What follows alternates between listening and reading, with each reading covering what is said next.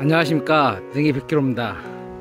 오늘은 느타리 산행 한번 와봤고요. 그 능이버섯 산행할 때 능선 쪽에서 참나무가 정말 많이 죽은 데가 있길래 그 야산으로 해서 한번 나와봤습니다. 오늘 이제 날씨가 많이 추워졌는데 한번 산행 열심히 해서 땀 한번 흘려보도록 하겠습니다. 첫 번째 만난 느타리입니다. 여기 이렇게 느타리 하나 있고요 고목이 크게 쓰러졌길래 느타리가 몇 개 더 있을지 하고 봤는데 다른 부분들은 잡균이 먹어가지고 이거 하나만 난 것 같습니다. 정말 큰 칡넝쿨에 느타리 붙었었는데요. 지금은 녹균화 됐습니다.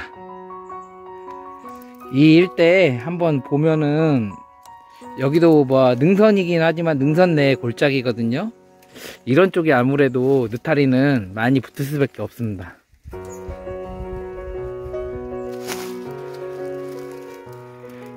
여기 팽나무 버섯도 보여주는데요. 팽나무 버섯이라고도 하고 팽이 버섯이라고도 하거든요. 이 찌개나 볶음류에 넣으면 맛있는데 벌써 팽나무 버섯도 녹균화 됐습니다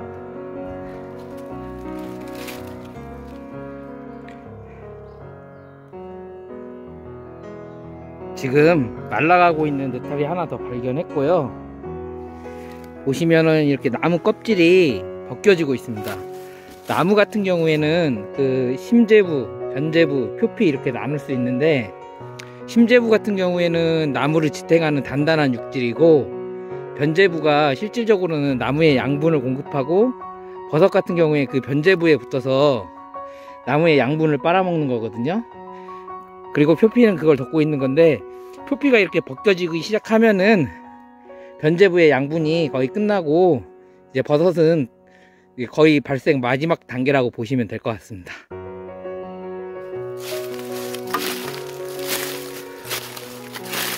안전하게 하산했고요. 아무래도 지금 낙엽이 닫히고 조금 해발 있는 곳들은 땅이 얼어서 좀 위험한 게 있는 것 같습니다. 그래서 산행하실 때는 꼭 안전에 유의하시기 바라며 오늘도 시청해 주셔서 감사합니다.